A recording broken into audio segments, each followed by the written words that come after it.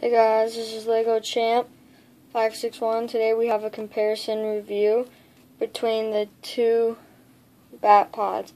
Now this one is from the, the 2012 Bat Cave and this one I it's a custom one that I ordered from Artifex Creations, so let's look at them.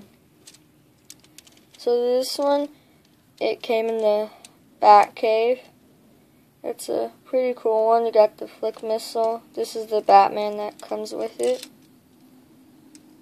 And you got some special wheels for him. It's kind of nice. And this is the one from Artifex Creation.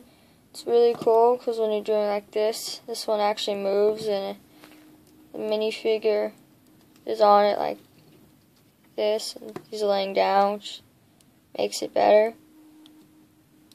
And you got wheels and it can come apart into three pieces pretty easily. And this one was $23, so it's a nice price. Just kind of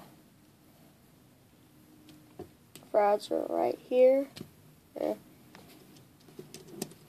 So in the description, I will put a link to Artifex YouTube channel and also the website of where I got this. So thanks for watching. Please comment, like, and subscribe, and I will see you guys later.